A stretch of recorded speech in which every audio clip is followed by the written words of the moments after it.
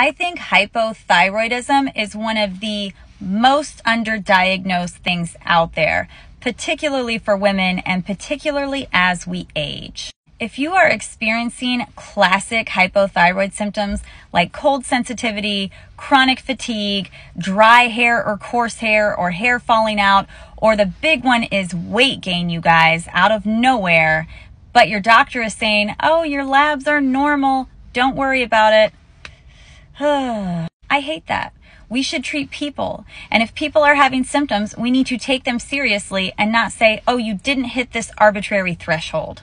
Take a look at your thyroid numbers for yourself, okay? Optimal labs where your thyroid is working well are a lot different from within this huge normal range where you may still be having all kinds of terrible symptoms.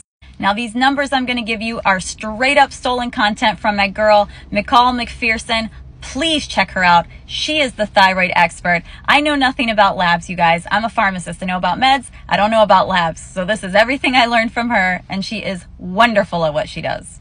But you want your TSH to be around 1. If it's 1.8 or higher, you're going to be experiencing those negative symptoms we talked about. You want your free T4 to be 0.9 to 1.2.